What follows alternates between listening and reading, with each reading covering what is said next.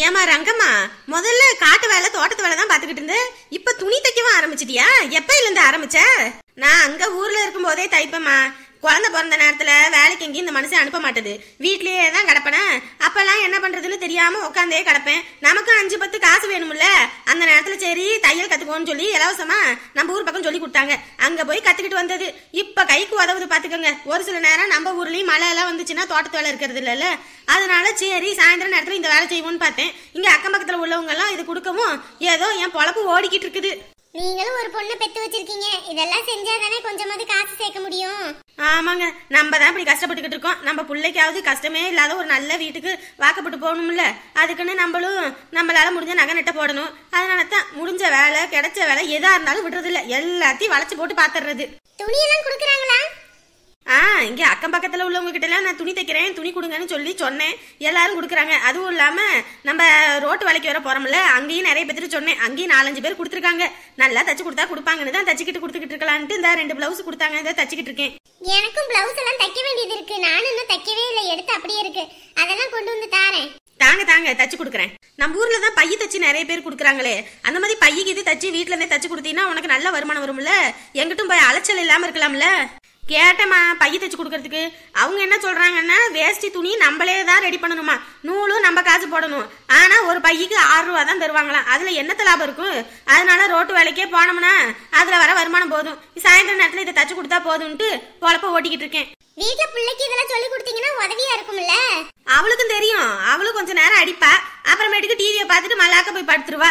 அவளை எங்கிட்ட போய் நம்ம கையை கேட்கறது சரிம்மா சரிம்மா. பாத்திரம் மண்டெல்லாம் இருக்கு. கொஞ்சம் பார்த்து சூதானமா வச்சுக்கோங்கம்மா.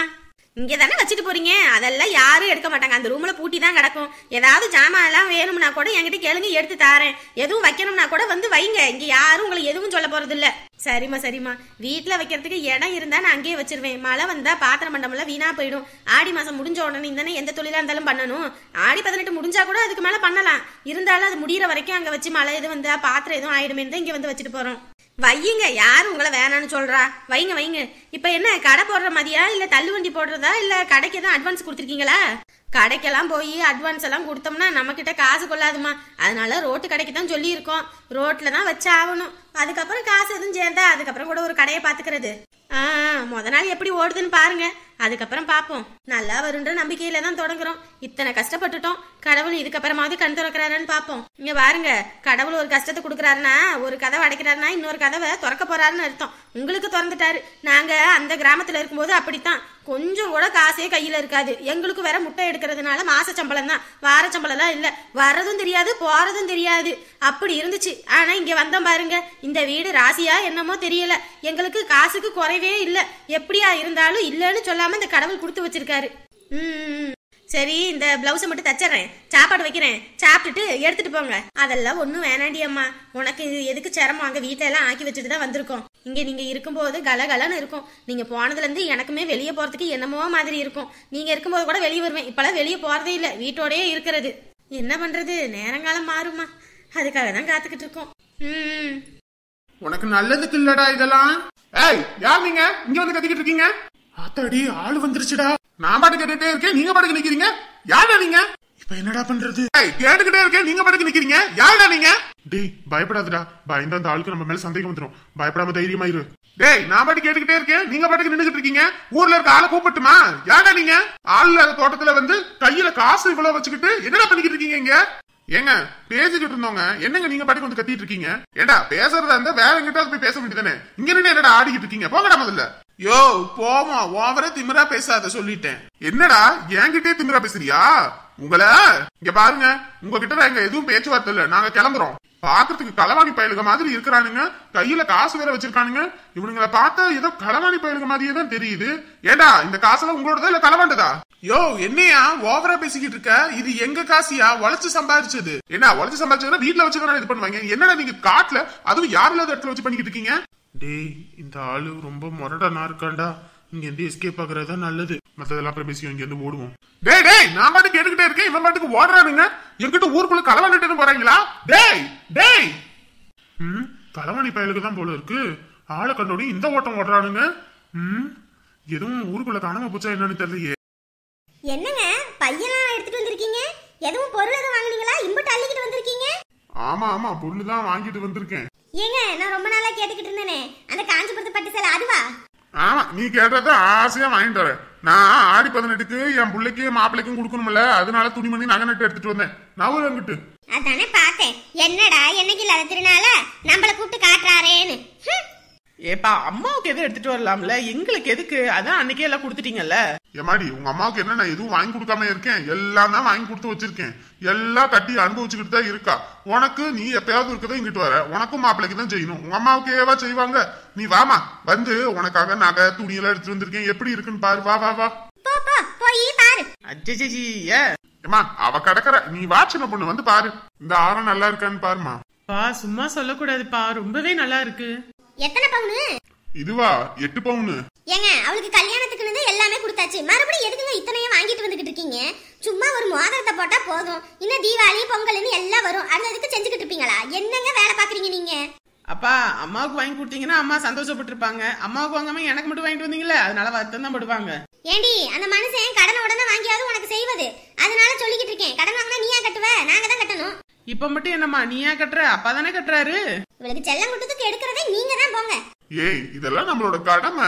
கடமைனா ஒரு சின்ன மோதிரம் போட்டா போதாதா மாப்பிளைக்கு மட்டும்?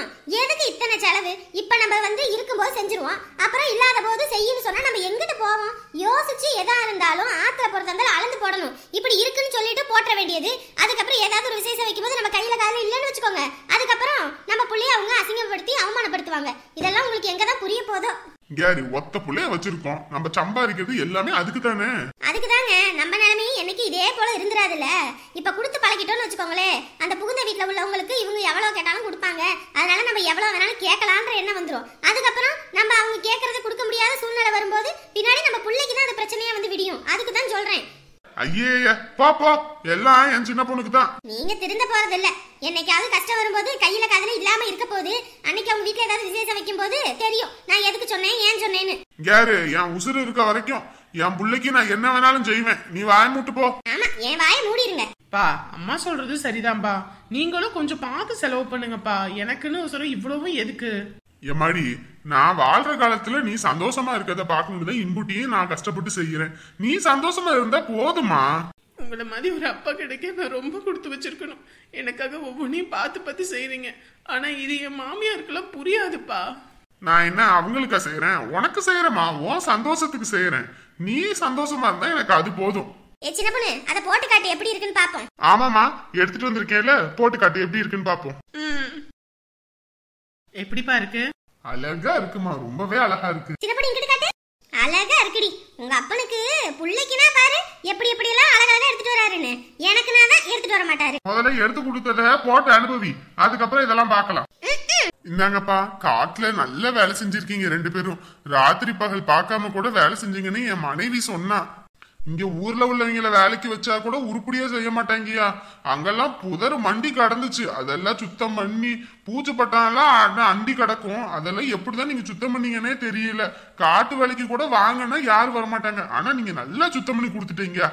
ரொம்ப சந்தோஷமா போச்சு. உங்களையே தான் அடிக்கடி இங்க எங்களுக்கு எந்த தேவையா இருந்தாலும் கூப்பிடுவோம். கூப்பிடுங்க நாங்களே வந்து செஞ்சு கொடுக்குறோம். சரிங்கய்யா.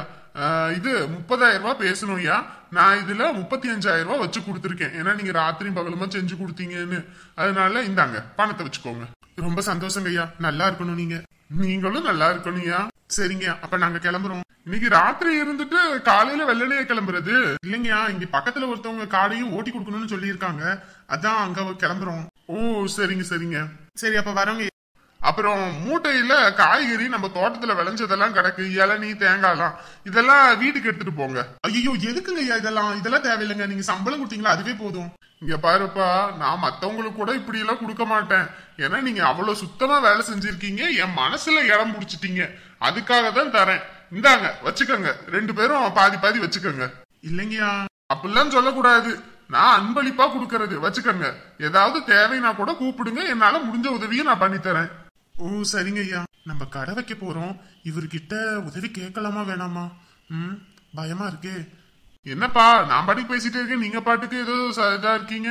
ஒன்னும் இல்லைங்கய்யா ஒன்னும் இல்ல. சரிங்கப்பா. சரி பார்த்து நான் போயிட்டு வரேன். ஆ சரிங்கய்யா பரவாயில்லண்ணே. நம்ம இதுக்கு முன்னாடி வேலை செஞ்சவங்க கூட சம்பளத்துக்கு கிள்ளி தான் கொடுப்பாங்க.